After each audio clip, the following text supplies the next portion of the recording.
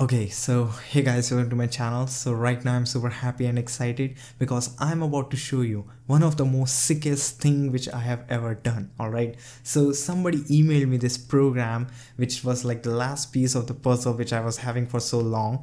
Now I absolutely love futuristic tools, stuff like Siri, Cortana, not really, but I like to make my own Jarvis okay? I use Linux systems. I like to customize it. I want to replace standard in uh, with voice in and standard out with voice out. I want to ask my computer what is my CPU temperature? And I want my computer to respond. I want to ask anything. I want my own voice assistant. And I can do this. I can do this better because I write shell script for my personal use cases i just need you know to replace standard in with something like voice and standard out with voice all right? So my voice is going to be standard in and i need to give my computer a voice okay?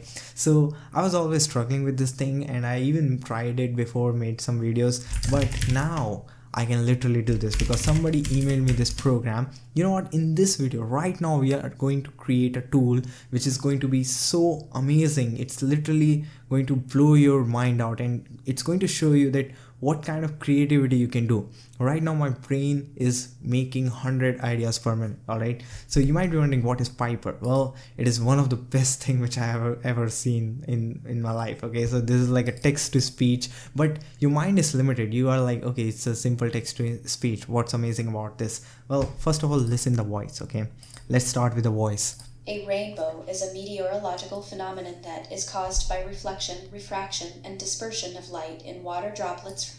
This is just one thing, okay? There are multiple voices and almost every voice sounds better. Uh, I mean, it's it's tolerable. A rainbow is a meteorological phenomenon that is caused by reflection. I mean, the voice is good. If you don't think this is good, just go back to the speak and then come back again. All right. So now this is something which you can run locally okay? And it's so lightweight it's so perfect. Uh, it's even created for single board computers. Now let me just you know what? Let's just forget the tutorial of piper first. Let me just show you uh, the stuff which i always wanted to do. I already already had programs created uh, because i knew one day i'll find something like piper and i I knew uh, what I wanted to do. Okay, so for example, this TGPT.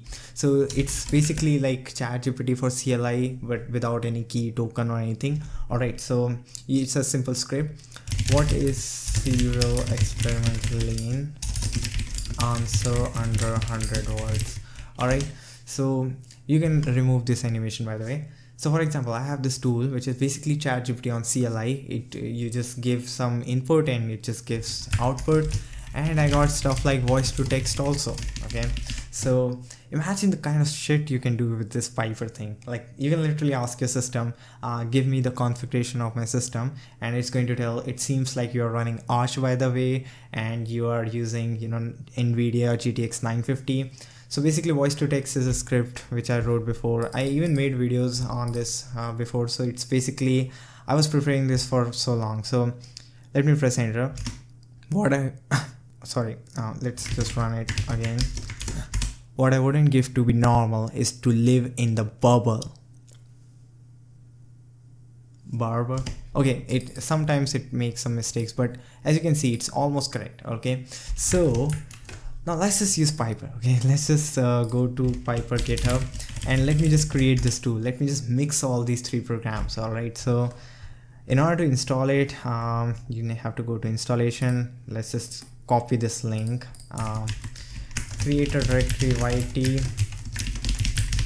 go to yt wget this. So you if you're smart enough you are already having ideas what i'm about to create. But this is just one idea okay? There are lots of things you can do. You can mix chat gpt with your own system files. Um, so let's just unzip it. Piper we got this directory so let me just delete this uh, let me just quickly show you.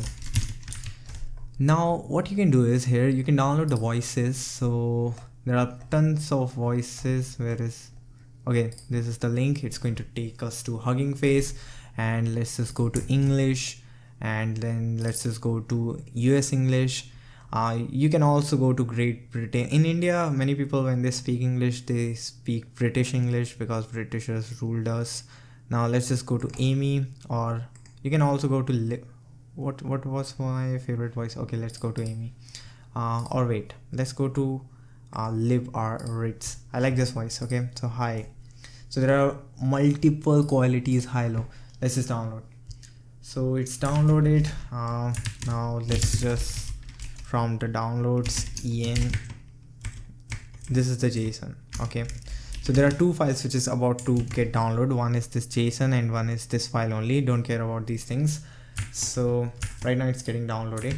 So i'm so excited to mix all these things and create one program which is going to be my first program. I can create many other programs like um, like imagine the output of neofetch uh, getting into ChatGPT and um, giving us the output which is like a natural audio basically okay so it's downloaded. Uh, let's just move the model to. All right so we got these two files here which we need. Uh, this is basically our model. One this and this. Let's use vimv to rename this file because you have to rename the you need to basically make the file name of this and this equal. Uh, you know accept this. All right so now let's just use piper. All right so let's just go back to github so the way to use piper is this all right instead of this model we need to provide our model which is en underscore tab and all right if i press enter it's going to create this welcome.wave file. Let's just use mpv welcome to the world of speech synthesis. Bro this is so cool okay? So we did this. We, we did the hello world of piper. Now uh, there is one more thing you can do instead of creating this annoying uh, file uh, this file here this file what I can do is I can pipe the raw output into aplay. Aplay is something you can get with alsa utils. So if I press enter okay it's giving me error because of the model.